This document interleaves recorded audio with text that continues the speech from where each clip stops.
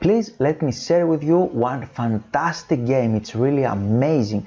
And not only that, we have a lot of uh, sacrifices during the game. We have Morphy with white pieces and he started the game with uh, e4 and Freeman with black replied with e5, bishop c4. Do you know the name of that opening?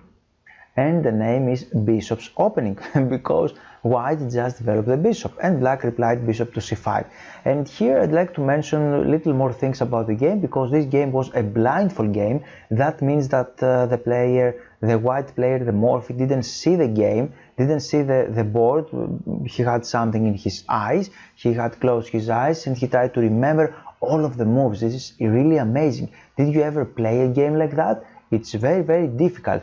And not only that he played with uh, other players approximately eight players and he managed to win six of that games. Six games blindfold without see the board. It's really amazing. He managed to draw one of them and lose one. Okay so we have b4 here. It's very similar to to Evans gambit. White would like to sacrifice the pawn this pawn on b4 in order to distract this bishop from c5 and for example after bishop takes we can play c3 and here and d4 you can see white is preparing to attack in the center and gain more space there this is the idea behind the Evans gambit uh, here b5 and by the way gambit means that white is sacrificing a pawn like that that this this b2 this b4 pawn in order to take some other elements some other initiatives in the position. So here black didn't accept the sacrifice. He played back bishop to b6 knight f3 d6 tried to develop his pieces normally and morphy continued very aggressively in the center. He played d4 tried to attack everything. Now we have e takes d4 knight takes knight to f6 everything looks normal. The knight uh, is attacking this e4 pawn. So we have knight to c3 here try to protect the pawn. And uh, Morphy's opponent here start the fireworks and he played actually he played short castling short castling and now he starts the fireworks. He played knight takes e4 wow. He's sacrificing the knight but he had an idea after knight takes e4 he played d5 and you can see now that the bishop and the knight is under attack. So he would like to attack both of that pieces in order to take one back. And Morphy played this very smart, very clever move, bishop to g5, attacking the queen. So the queen has to retreat, he played queen e8, and now Morphy captures. Bishop takes d5, very nice move, and as you can see, he managed to save all of his pieces, and now everything is protected. But his opponent played the move c6, and now the bishop is under attack here, and if the bishop just uh, remove go back on uh, b3 you can see that the knight on e4 is hanging. This was black's idea. And this is what, black is uh, hoping for to sacrifice temporarily a piece and after that gain, gain it back. But here Morphy found uh, actually you can pause the video. You have uh, two ideas here two two very strong moves at least two strong moves what are you going to play with white White during the game played the rook e1. If you manage to find that move, congratulations. You are playing like Paul Morphy. Very, very nice. And uh, he can play knight to d6. This is the best move, actually, because we're attacking the queen. Black, of course, can reply queen to e5. And uh, as you can see now, it's really really amazing position because the bishop is under attack on g5 the bishop on d5 is under attack by queen and pawn. And similarly the knight is under attack on d6 but uh, it's white's turn and for that reason black cannot capture any of that of that pieces. And here white can capture on f7 sacrificing the bishop here. And for example after king to f8 white is just in time to protect everything every every white piece is protected right now right? It's really amazing. But we have another variation. After bishop takes f7 of course black can capture with the rook. Rook takes f7 and uh, then white uh, have really better position because he can capture the rook. The rook is more valuable piece comparing to knight or bishop. And uh, after queen takes uh, after king takes here for example we can play queen h5 this is a check and now black has uh, problems here. For example, if he goes uh, uh, on g8, then we can join the attack, the rook can join the attack. You can see the, the queen is under attack. He would like to checkmate on e8, for example. This is an illustrative variation, and you can see white managed to checkmate now. The king cannot escape here because the queen is protecting that square. and uh, let's go back he played uh, he didn't play knight d6 all right it was very nice move obviously he might uh, think about that and players uh, we are able to find the strongest moves but during the game it's very difficult to play them because we might not see the complete continuation we might afraid something we might confuse something it's normal but okay he played another very logical move he played uh, rook e1 and uh, you can see now he played this is the game continuation he played queen to d7 obviously because after uh, c takes d5 here white is winning again. He can give this check on d6 as you can see the king is under attack thanks to the knight and the rook is attacking the queen. So uh, white is winning material. For that reason he played queen to d7 again attacking that pawn on uh, on d5 and if just the bishop moves away then he can capture the, the knight on d6 this is the idea because this knight on uh, Uh, on d4 sorry because the knight on d4 is not very well protected. And now Morphy played this amazing move knight f6 he should sacrifice something and for that reason he tried to sacrifice it in the best way. He sacrificed it on f6 this is a check double attack as well because the king and queen are under attack. We have now pawn takes on g6 and now bishop takes and you can see now, again, black is facing a lot of problems because this bishop is amazing piece, extremely powerful piece, and white only needs a check, maybe something like that, I don't know, maybe like queen h5 and queen g5 you can see the king doesn't have a lot of uh, movements a lot of available movements.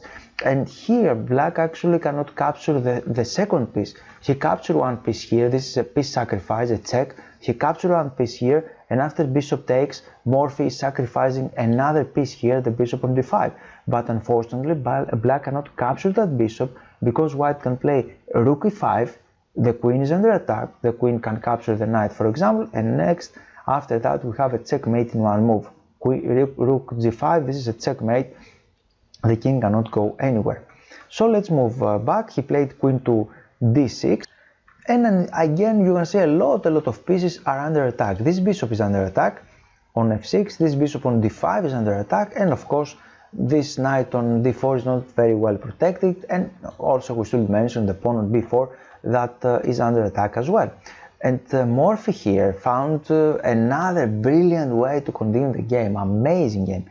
He played the amazing move knight e6, what a move.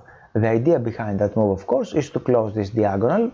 The, the bishop is not is no longer protected. Protect this uh, g5, g4 square, and then we can give a check on g4. And of course, this is a checkmate because the king cannot go anywhere. This is the idea behind it. So he captured with the, the bishop. He cannot capture with the pawn, of course, because this is a check. And after that, we have an, um, another check here. The king can go there, but then we can capture on e6. You can see everything is under attack here, and this attack is crashing. Black cannot do uh, anything here. For example, after that, we can play rook 8 d1, very important move, attacking the queen. The queen cannot go anywhere because the queen should protect the bishop, the queen should protect the g7 square, we're attacking a checkmate here, and you can see this is totally winning for white. And uh, for that reason he didn't capture with the pawn, he captured with the bishop in order to protect this g4 square, and now we have, uh, actually Paul Morphy here didn't play the best move, but we are humans. Please also remember that this was a blindfold game, so for that reason it was extremely difficult to remember every single position of, of the piece, to remember and calculate uh, variations, um, the correct move order ahead. It was very difficult, and he played the normal looking move queen h5, but actually it's uh, a mistake. A better move here is queen to d2 with the obvious idea to put the queen on, h6, on uh, h6 and checkmate. Let's examine the game. Here black can capture on uh, f2, very nice idea, try to distract white queen, but uh, here king can goes on h1, continue with the idea to uh, checkmate in this way, queen f6, queen d7, of course he can play bishop to h4, black is trying to sacrifice back some material in order to liberate his position, this is the idea, this is the reason behind this crazy looking move, bishop h4 and now we have a queen h6 you can see it's a very straightforward he's going to checkmate here and black can capture on uh, f6 and I'm not blaming uh, uh, Morphy that he didn't found this continuation. It's very difficult to foresee all of these moves, but now we have an amazing idea to continue the game. What are you going to do now with white? It's white's turn. This is a very nice typical pattern and he can play bishop to e4. Very difficult to spot it if you didn't see it before. Very difficult because again he's threatening the straightforward checkmate on h7 so rook d8 is the only move, bishop takes, king h8 bishop f5, rook g8, and now we have another amazing move, another strong move. Bishop uh, rook takes on e6, very very difficult to foresee that move as well because after rook after f takes e6 we can give this check. And of course we are entertaining the game right? The continuations the beauty that could uh, uh, happen during a chess game. This is why I'm showing you this variation. So king here for example another check. King e7 another check with the queen. The only move is bishop to uh, g7 and now we have epaulettes mate. This one queen g7 if you don't know what the checkmate is it and if you like to learn everything about the checkmate everything absolutely everything you can follow my website. I have a course there and uh, you can um, study it you can send me a message if you are interested about that. So let's go back and here we have uh, queen h5 this is the move. He played that move and he could play queen f4 this is the idea behind it. Queen is extremely active now. Uh, the queen is attacking f2 the queen is stopping this maneuver. The queen is attacking the, uh, the, the bishop on f6 and as you can see the queen is not only a powerful attacking unit but uh, we can consider here as uh, a very valuable and important defensive uh, um, piece. You should uh, keep here on uh, defense and he can protect yourself. So he played this move here to king uh, f1 this is a mistake actually. He give back the favor. So white have the initiative again. We have king h1 queen f4 right now but right now it's a little late because white just sacrificed the rook again. And uh, you can see that uh, he can capture here but after that we have bishop takes the only move is rook f7 and now another checkmate. And again you can see after this uh, that the rook is under attack. The rook is hanging theoretically. The bishop is hanging the bishop here on f6 is not very well protected and almost all of uh, white pieces are shaking right it's not very stable but uh, this is the initiative in chess this is the tempo this is how to keep the threats how to keep the game flowing right this is very important. And now he played uh, knight to d7, tried to finally to develop uh, his piece. And again, three pieces are under attack. The bishop is under attack, the rook is under attack theoretically, and the bishop on d5 as well. so a lot of uh, threats, and here white uh, can play bishop g5, a very strong move, or he played the bishop b2, another strong and logical move. All right and here of course if he captures like this we can capture with a bishop. The rook should go here. Rook f1 you can see we have a lot of pressure a lot of pins. We have a pin here on f2 the queen is behind it. We have another deadly pin here on f7 we have there the bishop and queen. So black has a lot of pressure and similarly this knight is not very well protected. And um, black is uh, not losing but it's very difficult to play with the black pieces. He should find the only only moves. Actually here white is threatening something. Let's play a crazy move like that. And uh, I was wondering if he's just threatening this. Because after queen, I'm trying to give a check here and checkmate somehow. But okay, it's not, it's not good what I'm thinking. Because he has defense. Actually he has a lot of a lot of uh, attack here, right? He, he can play something like that, bishop c1, you can see the queen is under attack, the bishop can join the attack again. It's, it's very difficult to play with black pieces, let's put it in this way. So bishop d4, he continued the game like that, g3, right now attacking the queen, try to distract this queen in order to capture the bishop, this is the idea. Actually here it's very important to notice that this bishop is hanging, but uh, it's protecting the king in, in this long diagonal. Can, she cannot give any checks. Knight to f6, she captures the queen here, knight takes, and uh, you can relax here and say, oof, alright, the queen is out of the board, are out of the board, so I might relax. And uh, here he captured on uh, d4, and the problem for black is that he cannot capture either the rook or the bishop. For example, if he captures here, then we have a check on g1, the knight is the only move, rook takes, king will go somewhere and now rook h6. She can try to put this pawn on f6, try to block the diagonal a1, h8, this is the idea, but here we have a checkmate. This is uh, one variation. Another variation is to capture the rook again, but we have something similar. This is a check, the, rook should go in front here, then we have another check on g1, the only move looks uh, this one, then we can capture the rook, you can see the rook on f7 is pinned, it, can, it cannot move, this bishop is helping the rook to give a check, he can go there, but we can capture another rook, we have uh, two bishops up and you can see the position is clearly winning, right? Can you win it? I hope so. And uh, now he didn't capture rook or bishop, he played knight takes f4, a logical move because a lot of white pieces are hanging again. So white give that check, very important check, and knight to g6. I, I think that uh, Freeman with black pieces could feel uh, relaxed right now because, uh, alright, he exchanged the queens, he managed to exchange some pieces, the rook is under attack, the bishop is under attack, so white should go back, right? This is the logical thinking. But now it's white's turn. You have the opportunity to find a very nice move as Paul Morphy. Can you do it? Can you pause the video and try, the, try to find the best move for white here? And white have a very nice move because um, this bishop is pinning that f7 square and he managed to find the best move here. He played rook e takes f6, another amazing move. The pawn of course cannot take here because the bishop pinned that pawn. He can capture with the other pawn, the other pawn, but we have rook takes d6 check, king f7, rook d7 check, king h6. What else to do? He cannot really go here because uh, after that we have rook takes f, with a check. This is a check king can, can goes here and then we have another check he should go here and now something like uh, rook e7 for example and he should put the rook in front and then we can checkmate right this is another beautiful beautiful checkmate isn't it and for that reason he, after this he went on h7 another check and he didn't went uh, on h8 he moved forward on f6 bishop to e4 with uh, a lot of deadly threats here. Black, white is threatening something like that to checkmate um, this, and after that you can checkmate with uh, the rook on uh, h7.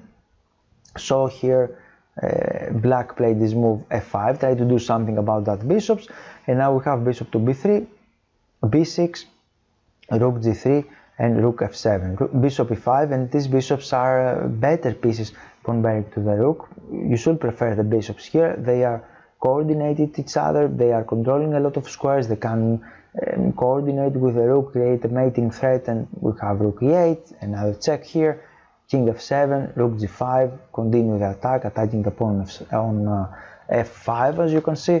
We have a check here, and rook g7 try finally to exchange the rooks, but this is this cost a pawn. We have bishop takes, king h8, h4. Unfortunately, white here cannot pin the rook. It will be a nice move, but this move this rook from e1 stopping this bishop from uh, bishop to e5. So we have uh, h4, exchanges here, rook e8, king f3, and the position is uh, winning easily because white can start pushing his pawns forward, very forward, to h7, then he can give a check here, for example, and he can win the game. And please also notice that uh, the king or the bishops can jump in the other side of the board and capture some material. So uh, Morphy's, Paul's Morphy's opponent resigned here. It's a beautiful game, isn't it? We have a lot of excitements here, a lot of uh, good opportunities for thinking. The first one is uh, when black start uh, capturing material like that, knight takes e4, and we have this a double attack here. And now after this, uh, you see a lot of pieces are hanging, but uh, Morphy managed to sacrifice another piece to create the attack. Really really nice. We have some beautiful uh, uh, checkmates as we've seen and uh, here we have rook takes e6 another sacrifice right to open up the position. Do you remember another cool sacrifice and finally more close to the final is this one rook, rook e takes d6 and he created a very strong attack and the two bishops managed to win that game i hope you enjoyed it you are very welcome to post some uh, a comment below to ask me something if you like, if you didn't understand something, if I missed uh, any variation, because it's easy to miss something when you are talking, talking, talking. And Thank you very much and see you soon.